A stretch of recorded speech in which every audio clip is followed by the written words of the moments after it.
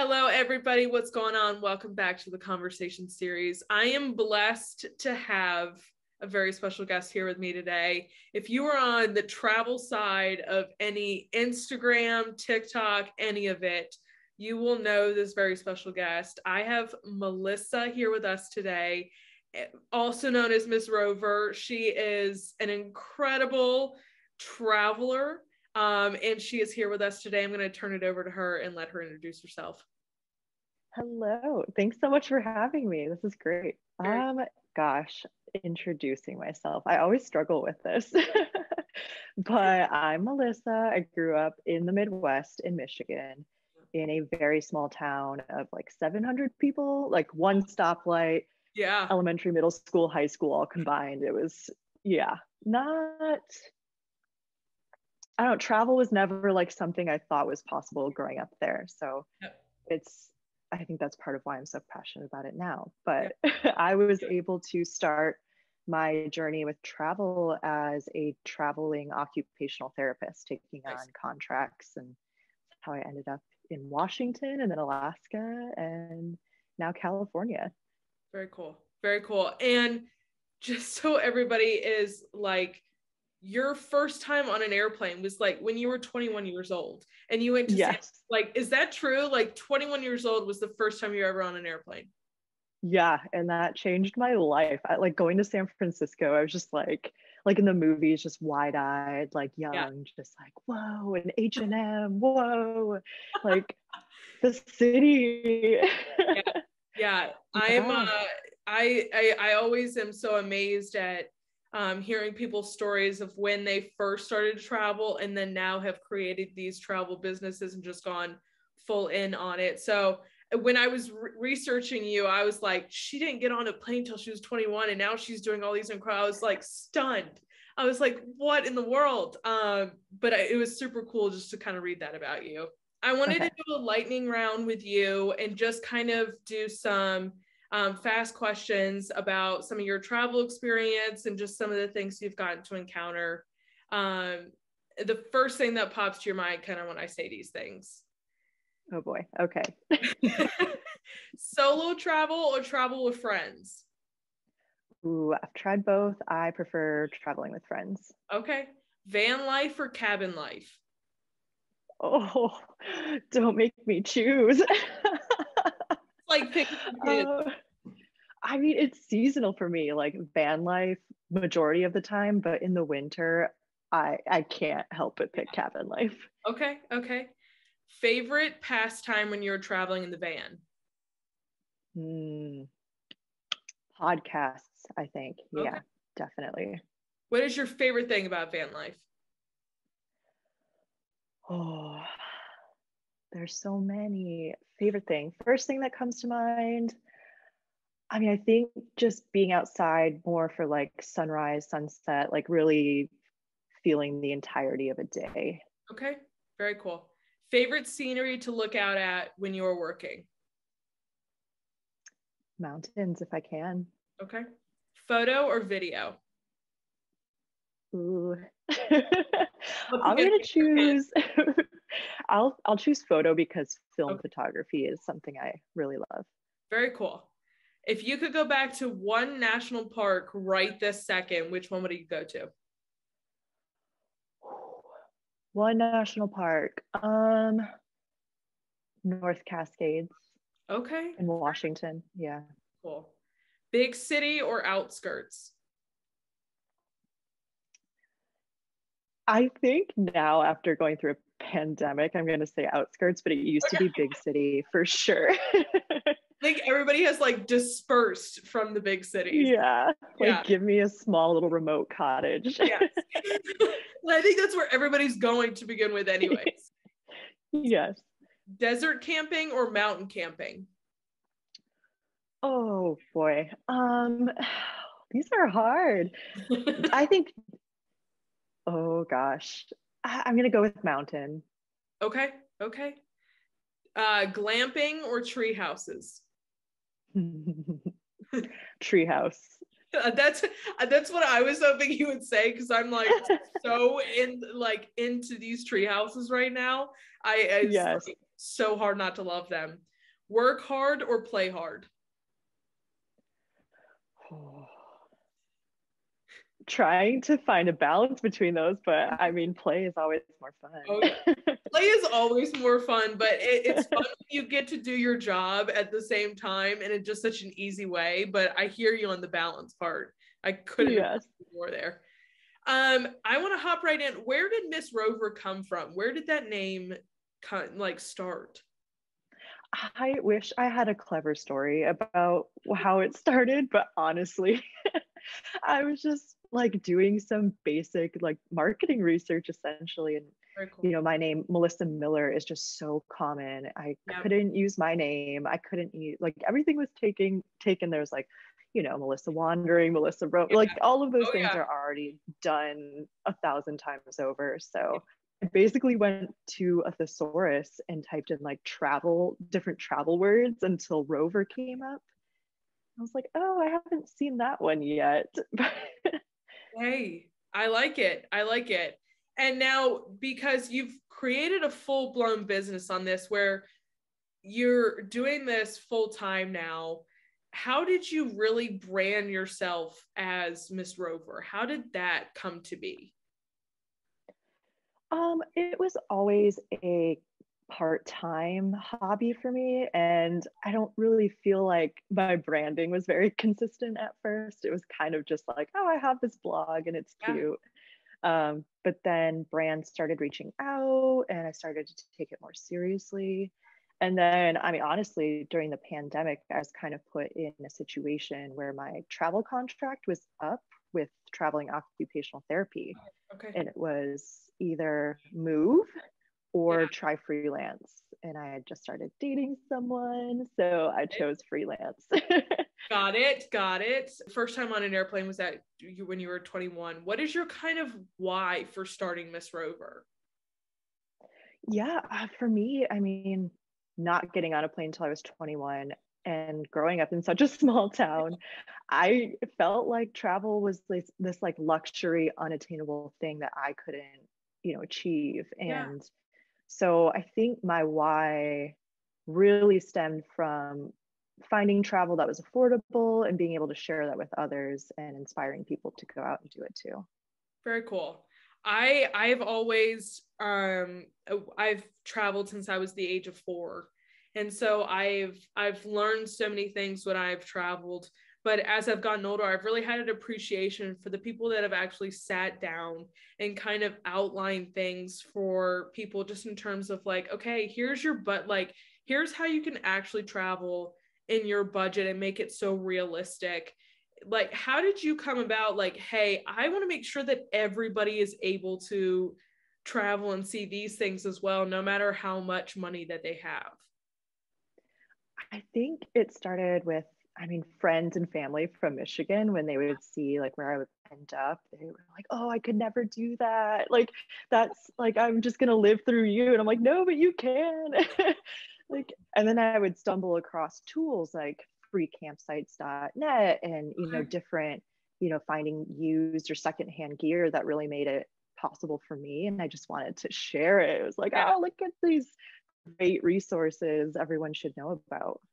Very cool. Very cool. Now, if anybody like if you guys are a follower of Melissa, your website is beautiful. All of your videos are kind of like you have truly like romanticized kind of your platform and just everything that you get to go do.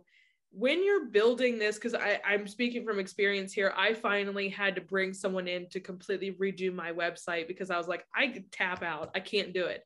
I, I physically do not have the skills to do this. Was there ever was there ever a moment that you were like, okay, I can't do this.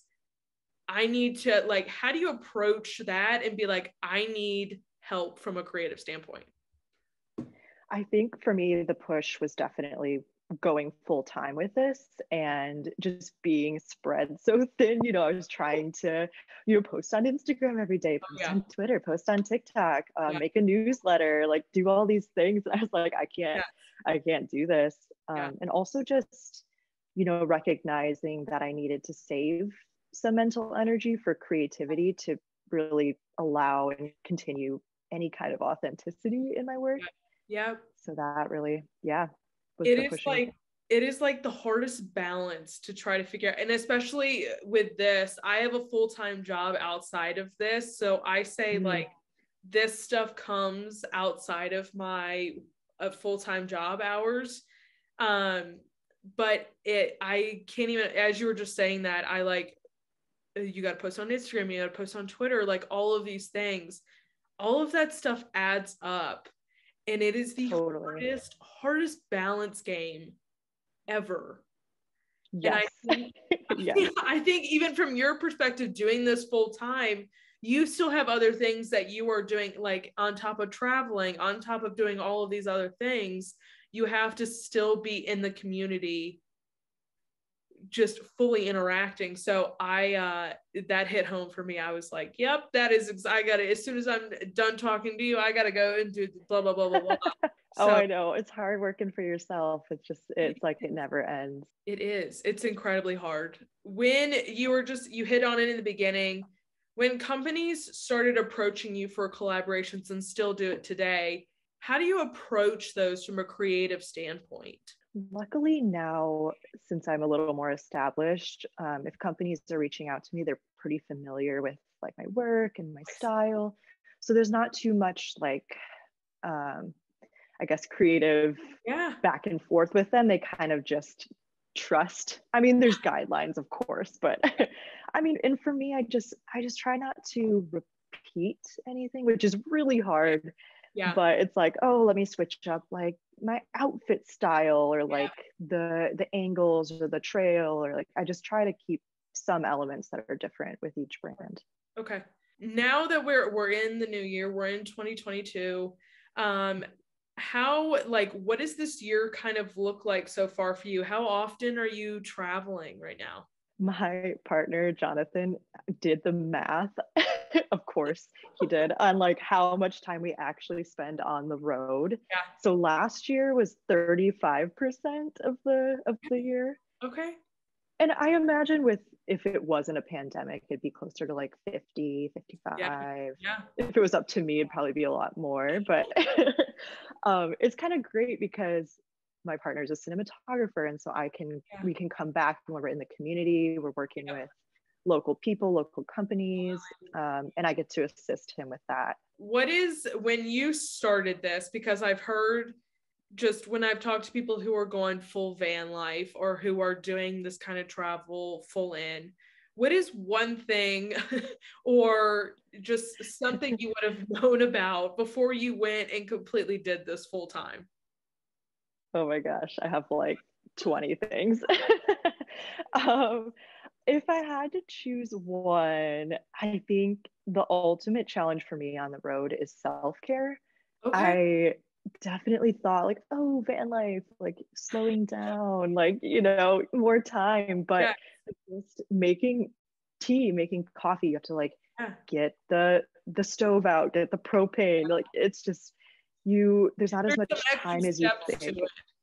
Yeah, yeah. Which is great and kind of like meditative, but um yeah, definitely like making time and balancing time spent driving yeah. with taking care of very interesting because it, it, everybody kind of shows van life as this super soothing experience. And most of the time, you're not seeing like, oh, the van broke down or oh, my, something has happened with the van that has happened. so, you most of the time when people are getting into this, they're like, well, we didn't know about this. Everybody's like, well, that's because this happens all the time. And everybody's looking around like, okay, well, we didn't see this part because everybody's showing all the good stuff. It's not all sure. it's, it's not the challenges what is one thing you haven't done or one place you haven't gone that you are dying to go to? Oh, there are so many. Um, with the van, I'll, I'll break this into a couple sections. Okay, have at with it. the van, the van, I really want to go to Mexico. I've never been to Mexico. Okay. Um, also, I want to go back to Alaska. But okay. anyway, internationally, um, New Zealand's always been a place I've just oh. like romanticized so much. Just yes. the mountains, the ocean, the cliff, yeah. like everything about it. I want to go. Yes. So bad. I I will double click on that because I am I am dying to go to New Zealand and Australia and everybody that I've talked to is like, yeah, we'd love to go to, except for the 20 something hour flight that we'd have to be on to get there. And I'm like, I don't care. I'll go. Yeah. I'll do it. I will do the 20 totally. Sign me up. Yes, exactly. Would you ever consider setting up and doing like a group trip with people? I have thought about it. I mm-hmm. actually even went through the process of doing that, but you know, it was yeah at the height of the pandemic and so i didn't have any success and then was kind of like oh maybe i just don't have the personality and it was kind of like yep. Meh. but i'm open to it and i would love to do that sometime because i feel like especially in the last couple of years really lost out on like connecting and yes. spontaneity just all of the things so that'd be it's, nice it's definitely i i would love to do it i would be super excited to do a, a group trip with you um when traveling, whether it be travel conditions, living situations, weather, when have you felt the most challenged? Hmm. For me, um, I, I think it's been, I'm getting older. I'm, I'm 30 now. but um, I can't do those like those trips anymore with other content creators where it's just go go go sunrise sunset sunrise sunset. Like yeah. you're in a new place constantly the sun goes down you're traveling to the next place. Like yeah. i get so burned out and it just feels so i just feel so disconnected to a place. Like i look at a picture that i've that we took there and i'm like i don't even remember being there. Like you know it's just like it's it feels so like consumerism to me and so i'm trying to really step away from that. And that was part of getting the van. Yeah. Very cool. slow down. Yeah. yeah. I I am 24, about to be 25, and I've gotten to the point in trips where I'm like, okay, if I want to go sit down by the water, I'm gonna go sit down by the water. You guys can do whatever you want to, but I'm gonna sit here and chill and listen to music and yes. fully take it in, or like I am not, it, makes me sound like such a grandma too. I am not a like I would love to see the sunrise. I'm gonna go back to bed or I'm gonna go see the sunset and I'm just gonna sit there and watch it.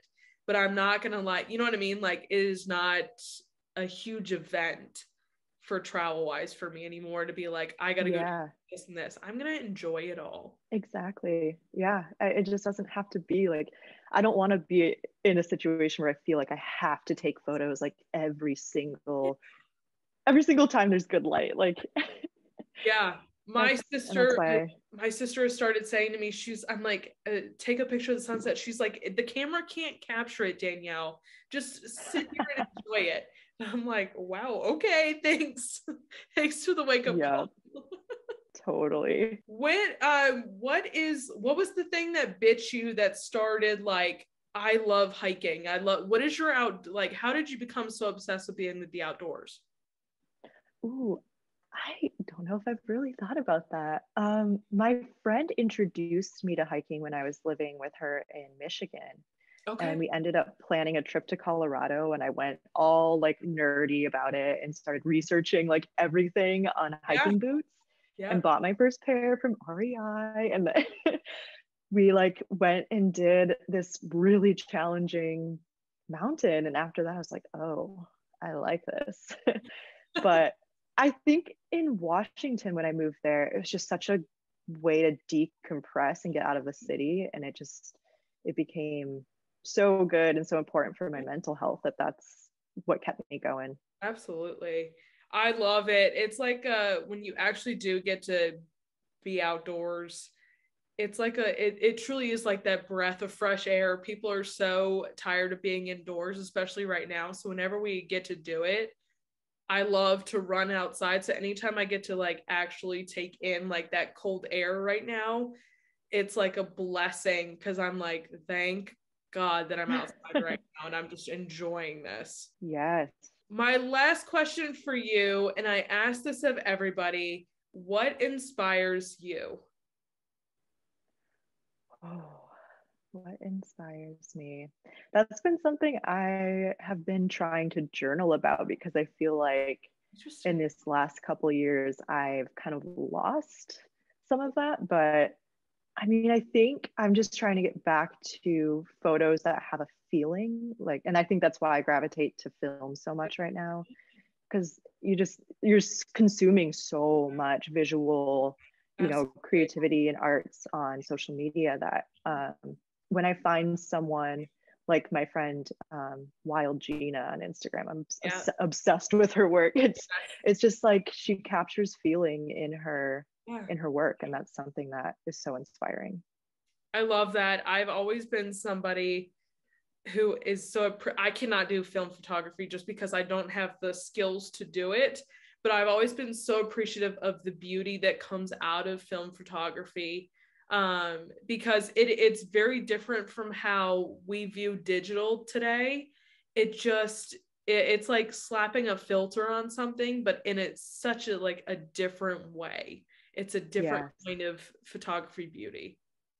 And it's so intentional. Um, I have to like think about you know how many shots I'm taking. I can't just like rapid fire shots of a sunset. So yeah, it brings me back. Yeah, it, it, it's it's the put the camera down and actually enjoy it because you're only going to get one shot of this. Exactly. No exactly. I love that. And melissa i thank you so much for coming on and talking with us today. Um, melissa's socials will be linked down below so you guys can go follow miss rover herself um, and stay in tune with all of the incredible travels that she is doing. I just saw the one where you were in the bathtub and you were looking out and i was like okay i need to go. I need to go and be where melissa just was because this looks incredible. Um treehouse obsession.